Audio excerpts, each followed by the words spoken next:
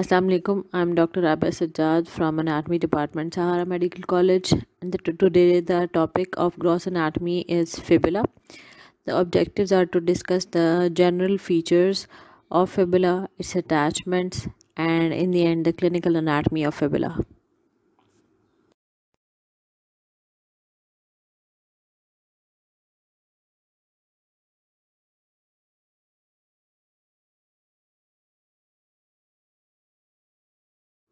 Fibula is the posterolateral thinner bone uh, of leg.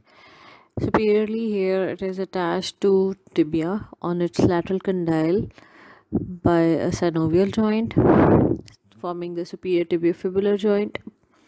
In the middle the shafts are connected by a syndesmosis made by the interosseous membrane. Inferiorly the two bones are again connected syndesmosis, another interosseous ligament, and then fibula lower end completes the rectangular socket for the ankle joint.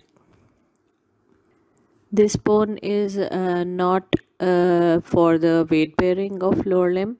The weight transmission is mainly through uh, tibia. The bone gives attachment to muscles and as it is not involved in any weight bearing, it, a piece of this bone can be used as a bone graft.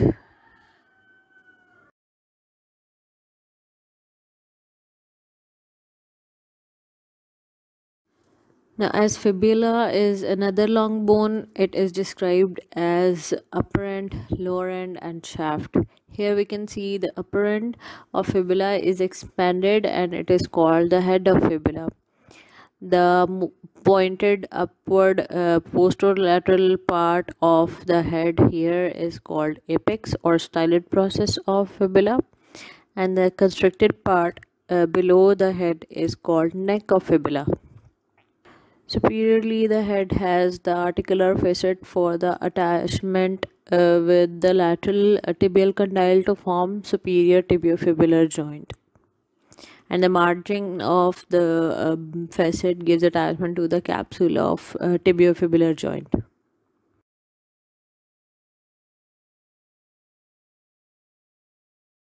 The lower end of fibula is the elongated uh, structure which is completely palpable and is uh, wholly known as lateral malleolus. It extends lower and most more posteriorly as compared to medial malleolus. Here you can see that uh, it is 0.5 to 1 centimeter lower than medial malleolus and posteriorly it extends 1 to 1.5 centimeter. This is the anterior surface of um, uh, malleolus and then we have the posterior surface. On the medial surface anteriorly we have the articular facet uh, for the ankle joint. And posteriorly we have a fossa called malleolar fossa. And the um, lateral surface is the subcutaneous part.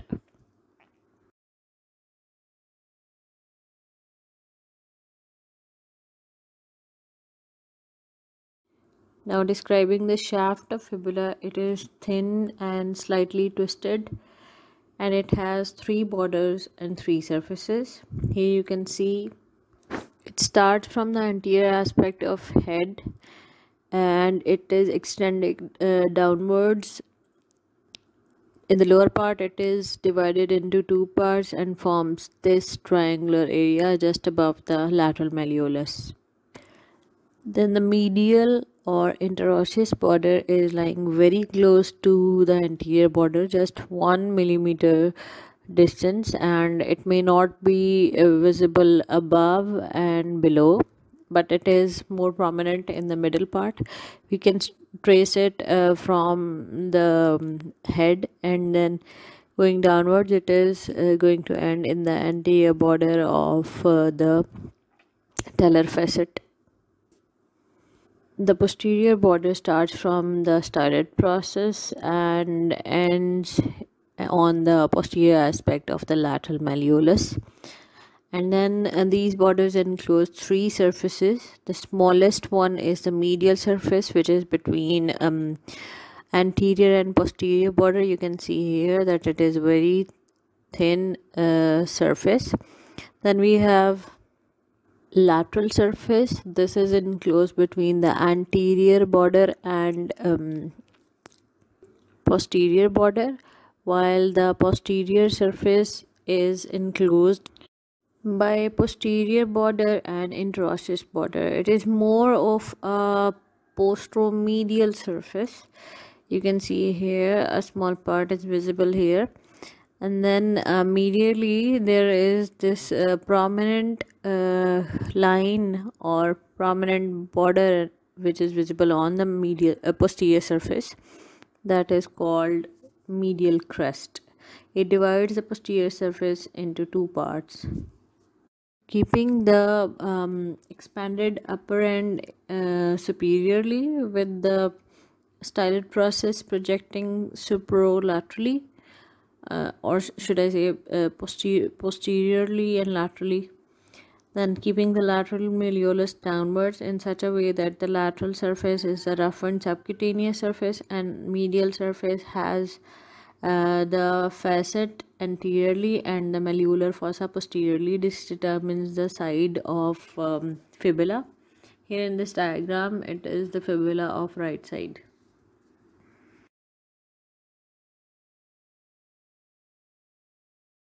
Now looking at this diagram, you can see that uh, most of the muscles of anterior and posterior compartments of um, um, leg and the lateral compartment of leg are arising from fibula mostly.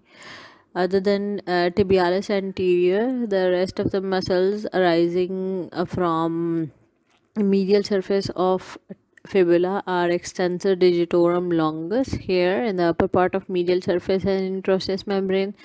Then you can see extensor hallucis longus arising from the lower part of medial surface and anterior border and the interosseous membrane and then in the lowermost part of anterior border and medial surface you can see the fibularis tertius muscle arising from it from the upper part of lateral surface we have origin of fibularis longus. And from the lower part of lateral surface we have fibularis brevis muscle. These both are part of lateral compartment of leg.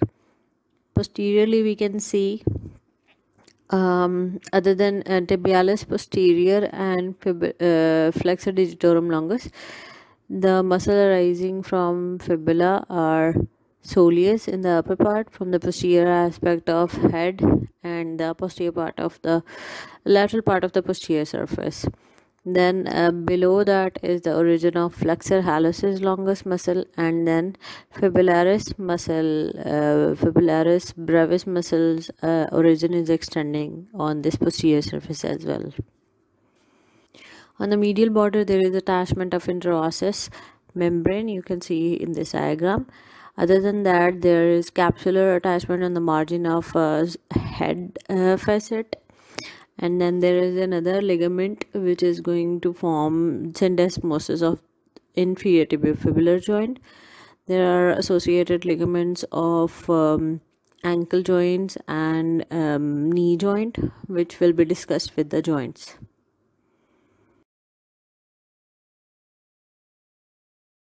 as discussed with the tibia and the head of fibula here you can see is the palpable or subcutaneous part.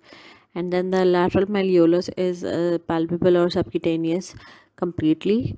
The palpable parts of bone are usually um, uh, suitable for taking biopsies. As fibula is not a weight bearing bone part of it can be used as bone grafts and can be re uh, replacing other bones in upper limb and lower limb where there there there is removal of bones due to tumor or uh, necrosis and trauma. Fractures can be discussed in the next slide.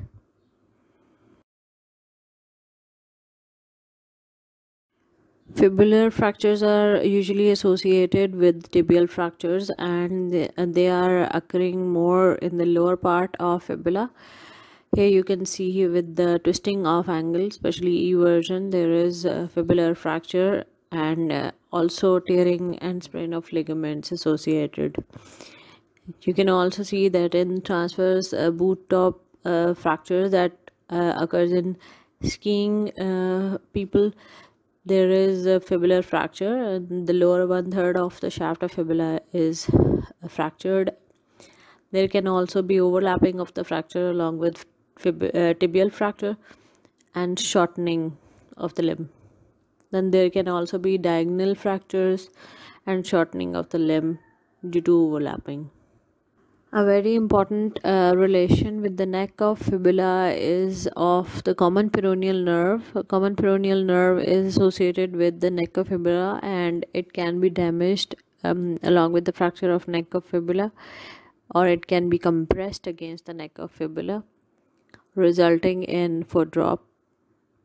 Then we have another scenario as shown in this diagram that uh, um, in case the foot is stuck in a hole in a ground or trapped somewhere and it is uh, in effort to remove the foot it is forcibly abducted and um, everted or externally rotated in this scenario there is spiral fracture of uh, lower end of um, fibula or you should say lateral malleolus. There is also a strain on the medial collateral ligament here and the medial malleolus can also fracture like in this diagram. Then the lower part of lateral part of the uh, fibula can also tear like here these are the different stages of an important uh, mm, fracture known as Pott's fracture